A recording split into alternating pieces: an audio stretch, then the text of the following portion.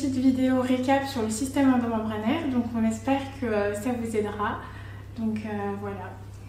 Alors donc là on va avoir une cellule, donc on a la membrane plasmique, dedans on va avoir des organites qui baignent dans le cytosol et on a la mitochondrie, le centrosome et le nucléole qui ne font pas partie du système endomembranaire, endomembranaire mais là on, on les a quand même représentés.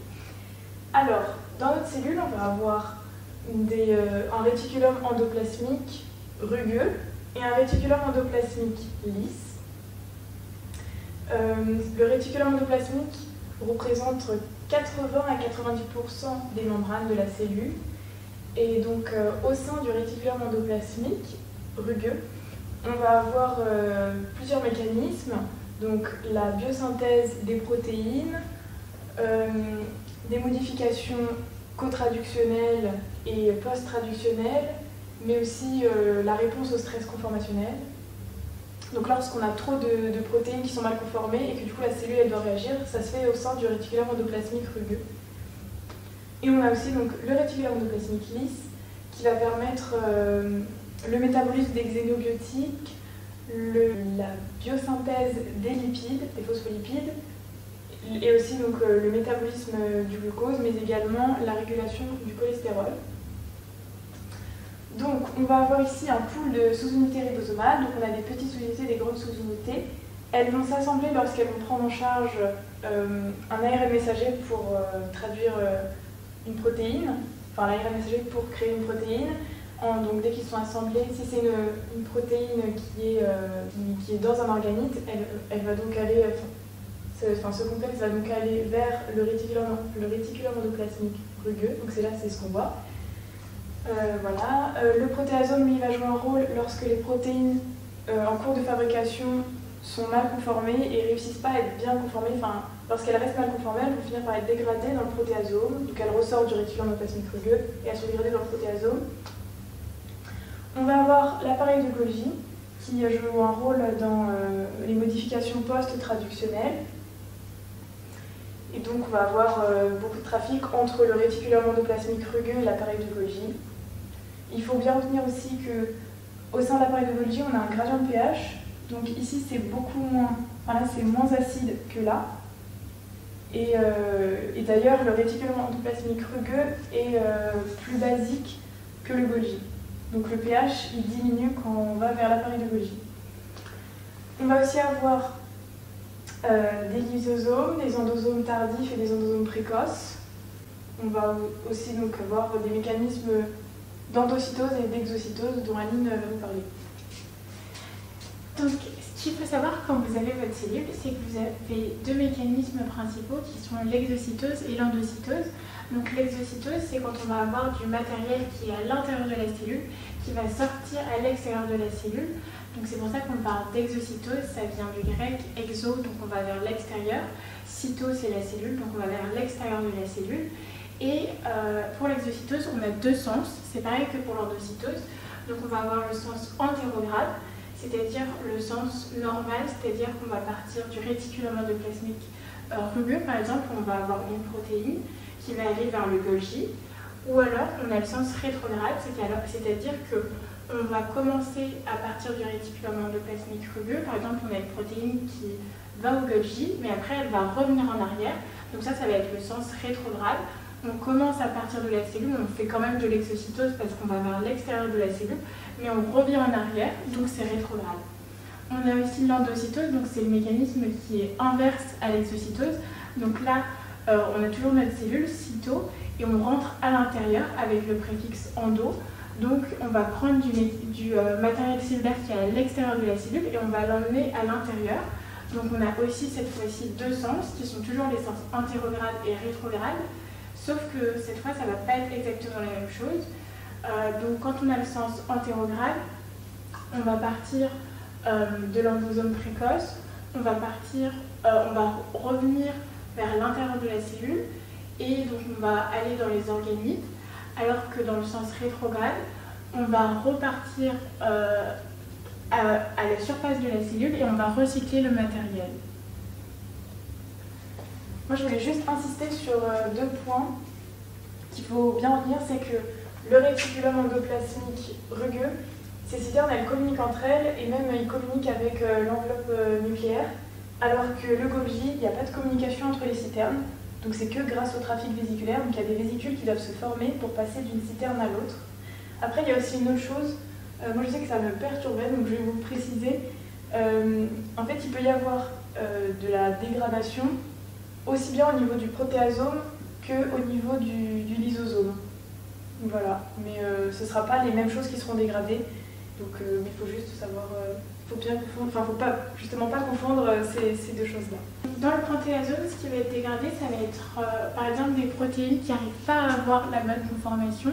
C'est-à-dire après quand elles ont passé, donc on va y revenir tout à l'heure, mais quand elles passent plusieurs fois le contrôle qualité et qu'elles n'arrivent pas à atteindre la bonne conformation, elles vont être rétrotransloquées, c'est-à-dire qu'elles vont sortir de la lumière du réticulum endoplasmique et elles vont être emmenées au protéasome pour être dégradées. Alors que dans le lysosome, ça va être euh, que les choses qui viennent, euh, enfin, qui, viennent de l'extérieur de la cellule. En fait, ça va être dans l'endocytose, ça va être des molécules qui vont devoir être dégradées dans, la cellule, mais pas, pas des protéines euh, qui viennent du réticulum endoplasmique. Donc c'est ça la différence. Alors donc là, on est dans le réticulum endoplasmique rugueux, et donc tout autour, on a le, cytosol. Donc, on a dit que dans le réticulum endoplasmique rugueux, il peut y avoir la synthèse des protéines. Donc ici, on a un canal de translocation. Là, c'est les deux petites barres et il est bouché parce que quand il n'est pas utilisé, il est bouché. Euh, et là, d'ailleurs, euh, ici aussi, c'est un canal de, translocation qui sera utilisé, mais vous verrez ça avec Aline juste après. Donc, euh, les protéines qui sont synthétisées dans le réticulum endoplasmique rugueux, elles vont commencer leur synthèse au niveau du cytosol, et donc deux sous-unités ribosomiques vont s'assembler autour d'un ARN messager pour, euh, pour effectuer sa traduction. Et donc ce complexe va rejoindre la membrane du réticulum endoplasmique rugueux euh, avec tous les mécanismes dont on a parlé pendant la préventrée que vous verrez avec euh, le professeur durant le premier semestre. Mais donc il y a aussi la SRP et euh, le, récepteur à la SRP qui se trouve sur euh, la membrane enfin, au niveau de la membrane du réticulum endoplasmique rugueux du côté cytosolique, donc ce serait par là. Donc, tout ce complexe arrive au niveau du canal de translocation, il va donc s'ouvrir. Euh, la, traduction qui avait été interrompue provisoirement pour que le ribosome et tout le complexe arrive à la membrane, donc cette traduction, elle va être reprise, elle, va reprendre.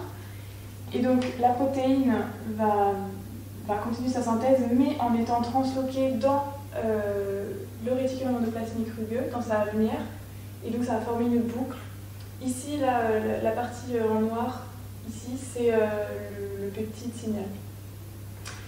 Et donc la signal peptidase va intervenir ou pas, ça dépend du type de protéine.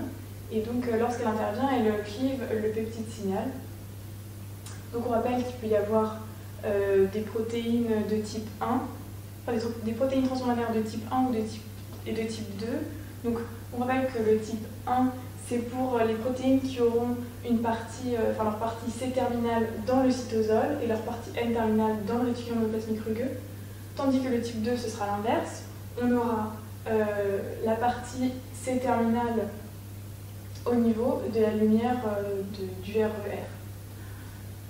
E Donc, parallèlement, on peut aussi avoir les protéines euh, qui seront solubles dans un organisme. Donc, parallèlement à la synthèse, on peut avoir des modifications. Donc, on parle de modifications co-traductionnelles. Donc, ce sera euh, l'ajout d'un oligosaccharide, saccharide qu'on appelle aussi glycal. Donc, ici, vous voyez le précurseur.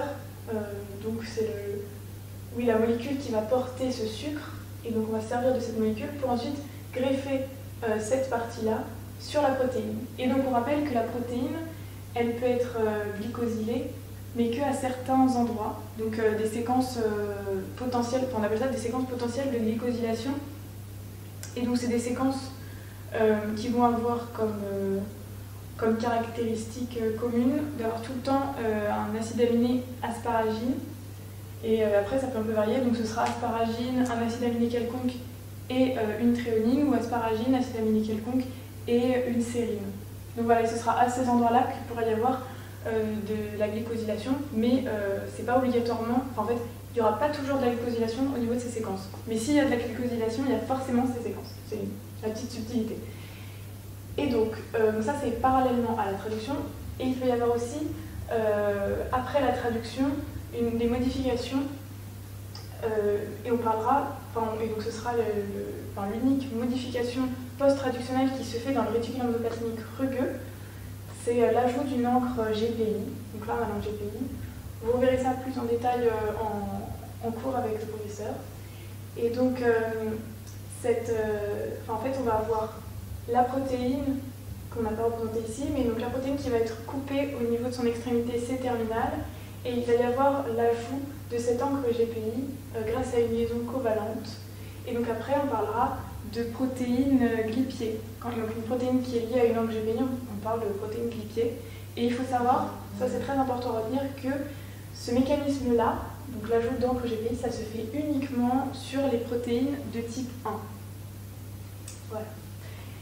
Et donc, euh, les protéines, quand on a l'ajout de sucre, si je reviens un petit peu en arrière, eh bien, euh, on a la formation de glycoprotéines. On va parler de contrôle qualité des, des, glycoprotéines et ce sera euh, le, fait de.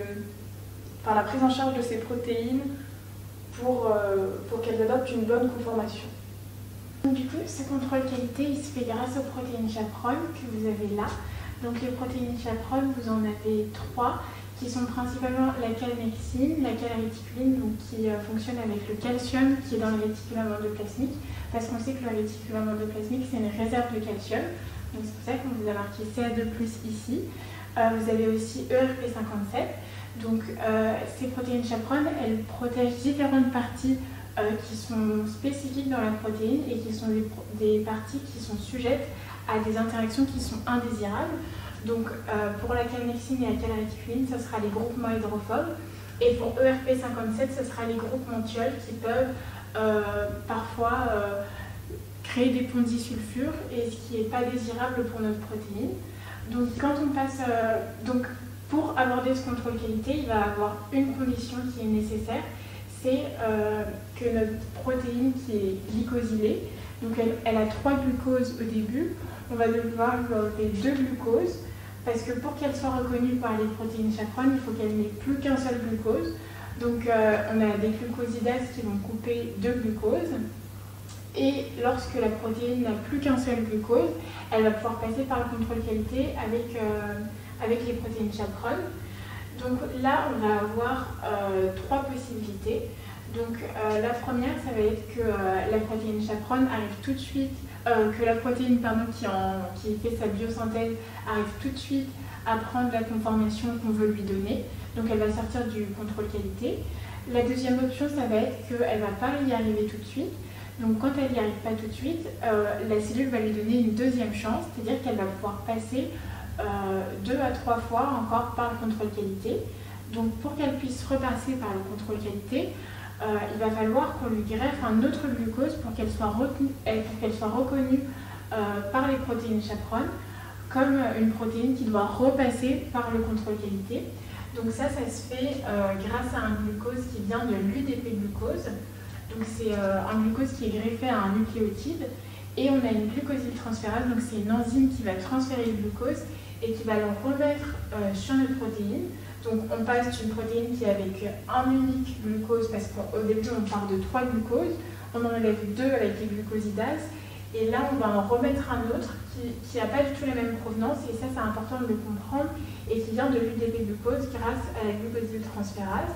Donc ça, ça va nous permettre de repasser par le contrôle qualité, et à cette issue, euh, soit donc la protéine va pouvoir atteindre sa bonne conformation, donc elle va pouvoir euh, vaguer à ses occupations dans la cellule, c'est-à-dire que euh, la protéine va sortir du contrôle qualité, ou alors malheureusement elle ne va pas y arriver. Et donc là on va arriver à l'étape 3. On va parler de rétrotranslocation parce qu'il est important de comprendre c'est qu'on n'a jamais de dégradation dans le réticulum endoplasmique, ça va toujours se faire dans le cytosol. Donc c'est pour ça qu'on parle de rétrotranslocation parce qu'on sort de l'organite et on va aller dans le protéasome, donc qui est l'organite euh, de la dégradation. Et, et voilà. Donc, Il y a aussi dans le réticulum endoplasmique rugueux euh, le stress conformationnel. Donc le stress conformationnel, c'est justement quand on a beaucoup de protéines qui n'arrivent pas à atteindre euh, leur bonne conformation. Donc on va avoir plusieurs, on va avoir un système qui est engorgé avec plusieurs protéines qui sont mal conformées. Et donc euh, ça c'est une situation de stress conformationnel qu'on a essayé de vous représenter avec beaucoup de protéines qui n'arrivent pas à atteindre leur bonne conformation. Et dans ce cas-là, la cellule va réagir et euh, par deux mécanismes principaux qui sont on va arrêter de produire des protéines qui ne vont pas aider à atteindre la bonne conformation des protéines, c'est-à-dire qu'on va arrêter de, produire toutes les protéines qui ne sont pas des protéines chaperones ou alors qui ne vont pas aider les autres protéines à prendre leur bonne conformation. Et par contre, on va euh, produire plus de protéines chaperones pour pouvoir euh, aider toutes ces protéines qui sont mal conformées à atteindre leur bonne conformation et euh, à désengorger le système pour que, la, pour que toutes les protéines puissent de nouveau être synthétisées.